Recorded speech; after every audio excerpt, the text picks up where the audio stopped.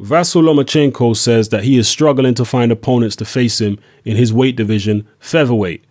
But earlier this year, he turned down the opportunity to fight Nicholas Walters. And Nicholas Walters, as we all know, is in Vasyl Lomachenko's weight division. He's also promoted by the same same uh, outfit, top rank Bob Arum.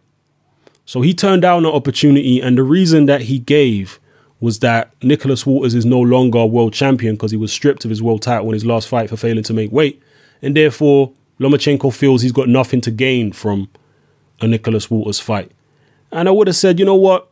Maybe that's a, a valid reason because ever since Lomachenko was turned professional, he's jumped right in at the deep end. He was fighting for the world title in his second fight. So he's very clearly very interested in big fights and big events. But over the past couple days, Lomachenko has come out and reiterated his desire to face Guillermo Rigondeaux, a smaller man in the weight division below. And the reason that's strange is because Guillermo Rigondeaux no longer has any world titles.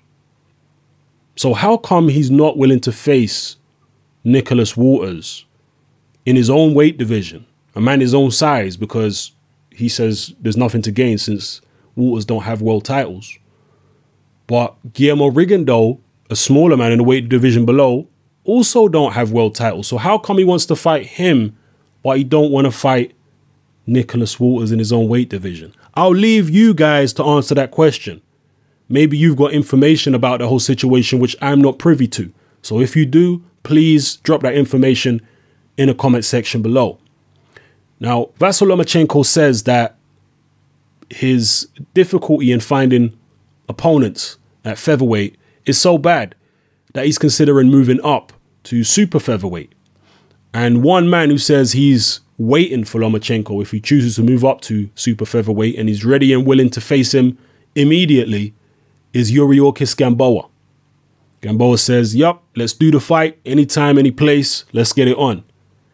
How do you see a fight between Vasyl Lomachenko and Yuriorkis Gamboa playing out?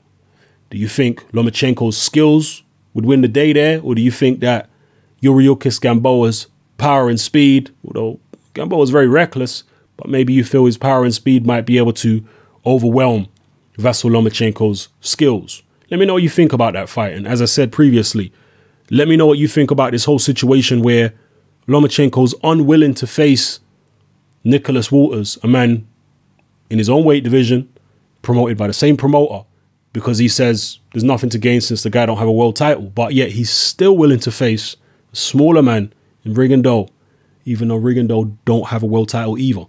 What's that all about? You tell me. I'm not making no accusations. I'm being 100% fair. You tell me what that's all about. All right? It's your boy Hatman, I'm out.